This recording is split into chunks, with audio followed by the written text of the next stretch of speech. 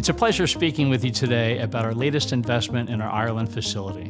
We're honored to produce intersurgical StarMed respiratory hoods and equally proud to manufacture a surgical mask for an international customer serving the European markets. We've served leading medical technology companies across the globe from our multiple facilities for almost 40 years and are beyond proud of our team in Castlerea, their award-winning accomplishments, and their ongoing success under the outstanding leadership of Managing Director Mick McEnroe.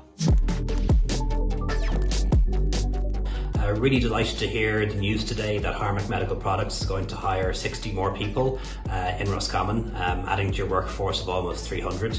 Um, really great news for the county, really great news for the region. Um, I know you've been a big part uh, of um, helping to tackle the pandemic with the products that you produce, uh, and this will allow you to do more. So wonderful news uh, and uh, great boost for the economy. I want to very much welcome the announcement by Harmac that they're going to expand their facility at Castlerea. I also want to congratulate Harmac on their capability to respond to the demand for medical related uh, products uh, for COVID 19. And Harmac have been providing uh, very good employment in Roscommon since 1998.